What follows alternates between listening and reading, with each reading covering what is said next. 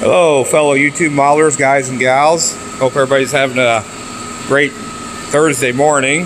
But today at the body shop for fun. I don't know if it's fun or not, but we're gonna be pulling this floor out and uh, putting a natural wood one in there. So uh, I imagine you guys know what this vehicle is. You'll recognize it, what kind it is. But Rick's, Rick's underneath there pulling bolts out right now. So sorry about the noise. But y'all have a great day now. We'll talk at you later. Bye.